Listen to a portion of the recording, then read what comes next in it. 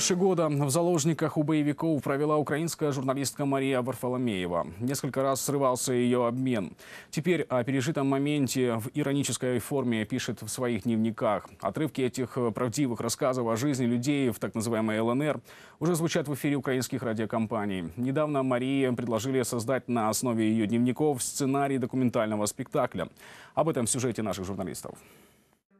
Были ситуации, когда однорукий старик нес на пульте бутыль воды, а рядом стояли молодые парни, и им все было безразлично. Показать жизнь псевдореспублики изнутри – главная задача радиодневников Марии Варфоломеевой. В начале конфликта на Донбассе журналистка приехала из Киева в Луганск ухаживать за пожилой бабушкой и попала в заложники боевиков так называемой ЛНР. Пробыла там больше года.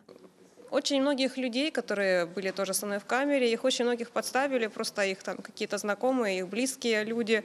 И поэтому я хочу рассказать о том, как э, этот мир функционирует. И о разных характерах э, людей, которые являлись моими охранниками, которые являлись моими обвинителями.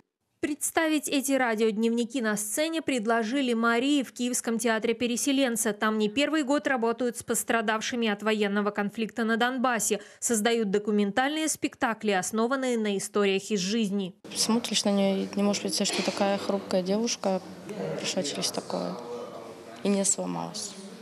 Один из последних проектов театра переселенца «Дети и военные» при поддержке канадского посольства подготовили пять документальных спектаклей. В школах прифронтовой зоны Донбасса на одной сцене откровениями делились школьники и участники АТО. Благодаря этому начался диалог между местным населением и украинскими военными. Диалог продолжается уже после нас. Вот, например, в Попасной недавно военные, которые принимали участие в этом спектакле, приходили к детям в гости, э, пели с ними песни, разговаривали. Это уже без нашего участия абсолютно. Еще один проект театра переселенца в формате классек. Талантливые подростки из Восточной и Западной Украины встречаются в Киеве и совместно работают над сценариями документальных спектаклей. В них рассказывают о самом сокровенном. После этого профессиональные драматурги, режиссеры и сценографы ставят спектакли на сцене. Главная цель – разрушить навязанные пропагандистскими СМИ стереотипы. Мы сдруживаем этих детей, они моментально сдруживаются. В том году у нас было попасно Нововолынск, и когда они приехали в первый день, то они сказали, ну,